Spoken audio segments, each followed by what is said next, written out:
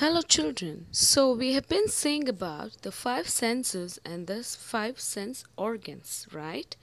So, we are learning the chapter 2 sensing around. So, you can see senses on one side and the sense organs on the other side in the picture. So, what are the senses? Sense of sight, sense of taste, sense of smell, sense of hearing, sense of touch. So, these are called senses. And what are these? They are called sense organs. Sense organs are eyes, ears, nose, tongue and skin. So let's see what does the sense organs do. So sense organs will give the aware of the things happening around us. So it will tell you what is going around you when for example when someone calls your name you immediately turn around and look into the direction where you heard that voice or the sound. So, this awareness is given by the sense organ ears.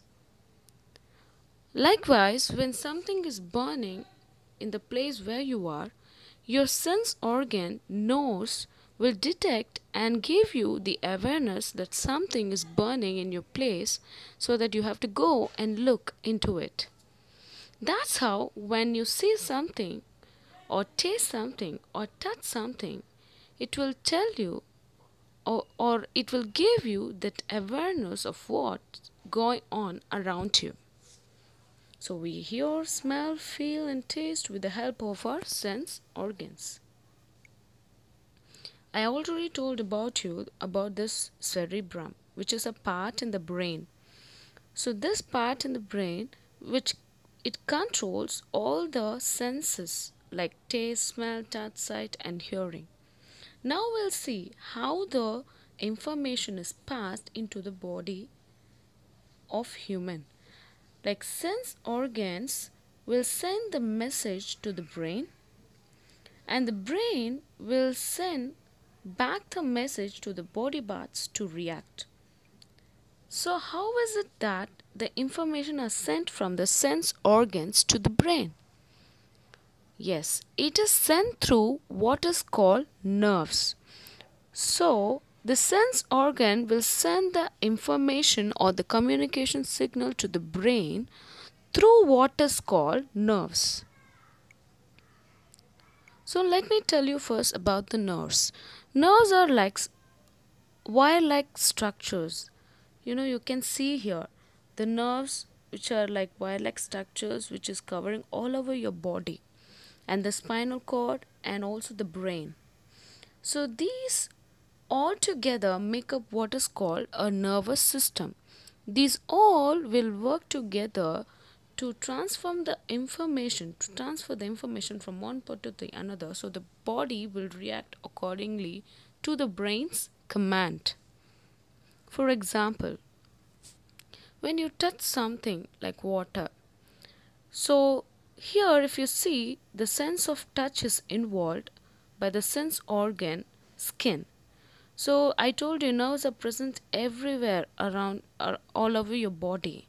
So, the nerves in the skin will get the information from the uh, skin and it will send it to the brain so brain then process the information, then send back the response or the communication signal of what activity that is done by the sense organ through the nerves back again and tell you and and from the nerves it is set sent to the body parts so that the body part will react accordingly.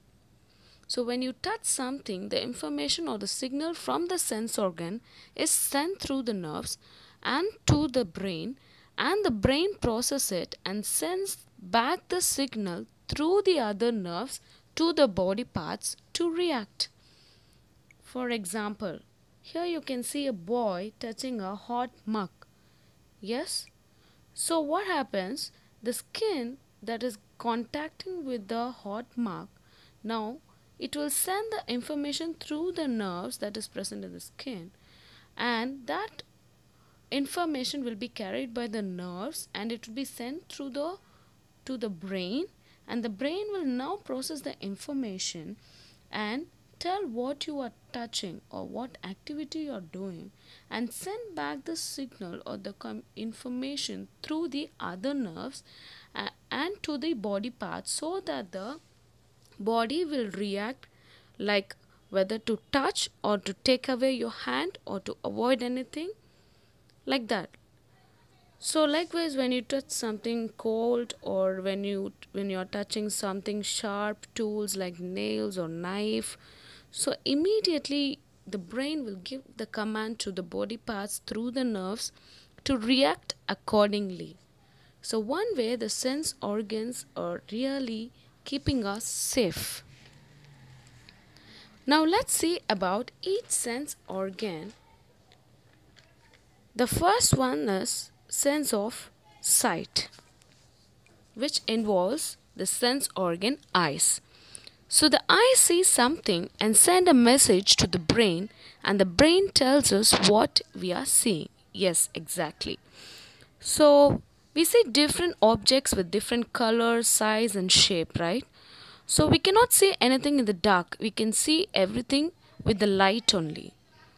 So we need light to fall on the object or things for us to see. Is it? So here in this picture if you see there is a picture of tree and the light ray is falling on the tree. So the light ray which is falling on the tree now the light which is falling on the tree will get entered into the eyes which is watching. So it will form an image on the sense organ eye which is watching and this information will be sent to the nerves which is in the eye. So it will carry the information sent by the sense organ eye and it will send it to the brain. Now you can see the brain is processing the information of what you are seeing. It is telling that you are watching something called the tree.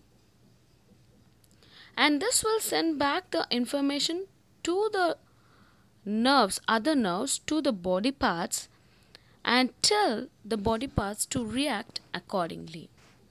So this is about the sense of sight. So apart from this you have something called eyelids over your eyes you blink right by opening and closing your eyes these eyelids protect your eyes and also to express any feelings or anything you express through your eyes so these tears in your eyes will moist your eyes and protects your eyes Now let's see about the sense of hearing. So we have two ears that helps us to hear different sounds, right? Now I would like to tell you about the two important parts of the ears. One is outer ear and the inner ear. What you touch outside and feel that is your outer ear and the what is inside your ear, ear that part is what you say it as inner ears. Okay? So what they do they carry the sound to the brain. So, how do they do it? When you make any sound, the sound will vibrate in the air. How? I believe all would have experienced the phone vibration mode. Yes, such vibrations will be found in the air when you make any sound. Those sound vibrations in the air then goes as sound waves into the ears. Have you seen waves in the beach? Like that, these sound vibrations will go into the ears as sound waves. Then those sound waves will taken by the inner ear and then it reaches to different parts of the ears. Then finally the nerves will take the information from the sense organ ears and will send it to the brain. Now the brain will interpret, will know what sound is what, what is making the sound and where the sound is coming from. So this is how the sense organ ears and the sense of hearing will work. Now let's see about the sense of smell. where sense organ nose is involved. So many things gives of smell, scent and odors. Odors means smell. It can be a good smell or a bad smell. These travel through the air. The nose receives these smells. The brain tells us if the smells are pleasant or not. Yes, we can smell different things that is around us. Like flowers, it will give you pleasant smell when you go near the garbage it will give you unpleasant smell right so what does it tells about so these like how you saw the eyes and ears these smells will be taken into the nose and from the nose it will be taken by the uh, cells that is present in the nose like nerves there are cells that is present in the nose okay they're called receptor cells they're actually like the nerves only. So they will take the information and give it to the brain and the brain will process it and tell you what you are smelling, whether you're smelling pleasant or not. And we also saw about the seven types of smell. Yes, we have sense of smell which is capable of identifying seven types of sensations. Camphor. Camphor you, uh, you would have seen in pujas and in temples. They use it. They burn it and show it before uh, the god. Yes? And then musk. Musk is somewhat like a scent smell a sort of scent smell and flower we know flower we we have seen the smell of flowers right and also mint we say pudina, right? In Tamil we say pudina. So even that smell is a kind of different smell, right? And ether is a kind of uh, chemical solution. It also has a pleasant smell. Acrid. Acrid means it's a kind of bitter or a pungent smell. Uh, when you cut the onions, for example, th- the smell which you get that time, the smell which you detect that time that smell will come under the sensation called acrid. Okay such sort of smell you call it as acrid sort of sensation. Okay and the next thing is putrid. Putrid is a sort of uh, dirty smell or a rotten smell. When you leave something like vegetables or fruits for men some days and it will get spoiled right? And when you go and smell them it will get decayed that time and give you the rotten smell. So such sort of smell will come under putrid.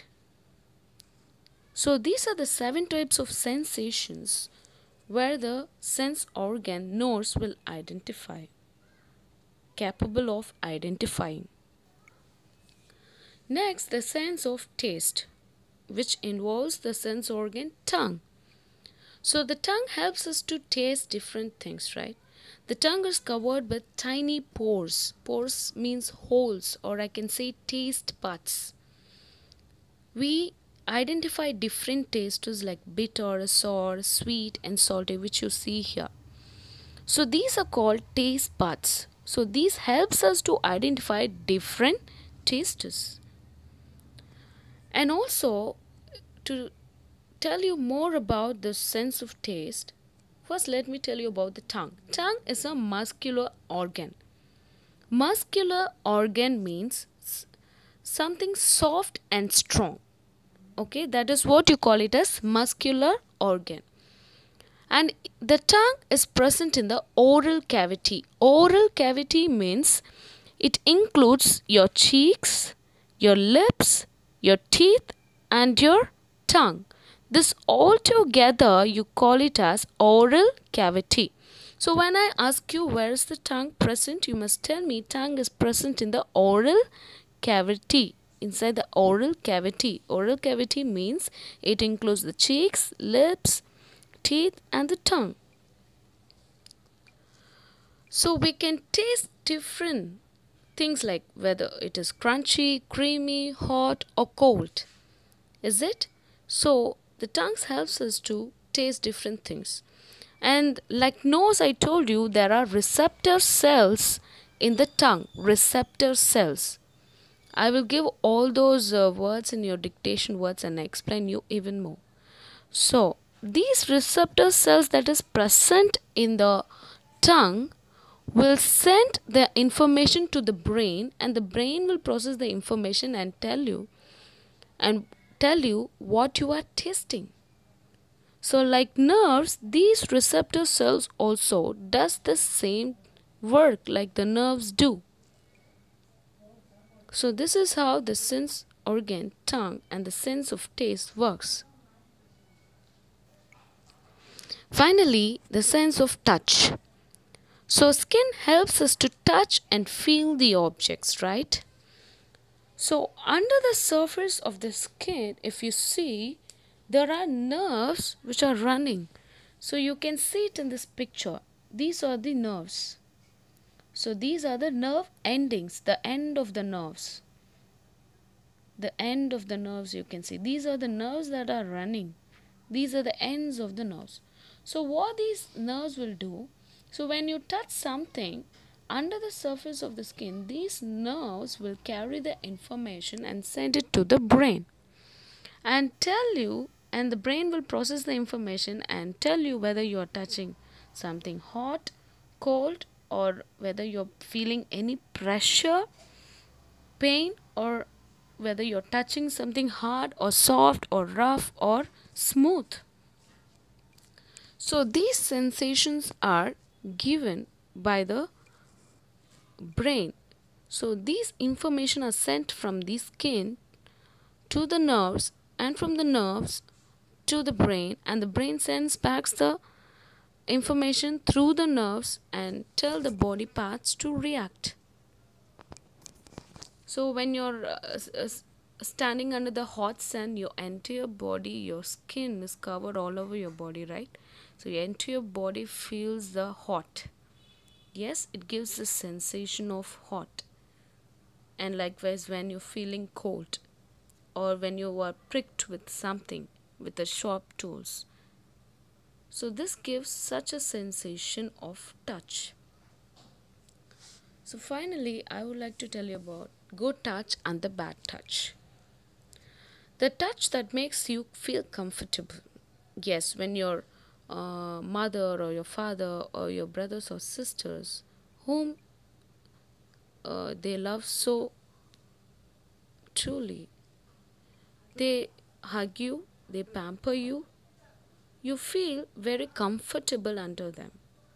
Right? You feel the love and warmth of your mother's touch, your father's touch, and so on.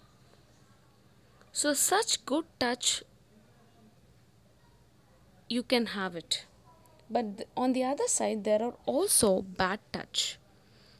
That will feel, make you feel uncomfortable, afraid, and unsafe. So, any stranger or the person whom, uh, whom you don't know, if they are going to reach you and going to touch you, which you feel uncomfortable and you feel somewhat scarier and you don't feel like you're in safety so such touch will come under something called bad touch. So if you come across such bad touch by the persons in an unfriendly way, immediately you are supposed to tell your parents or elders at home. They will take care of you, they will understand you. So, children, I hope you understood about the good touch and the bad touch. So these are the things we learned today about the five senses and five sense organs and the and about the good touch and the bad touch. So thank you children.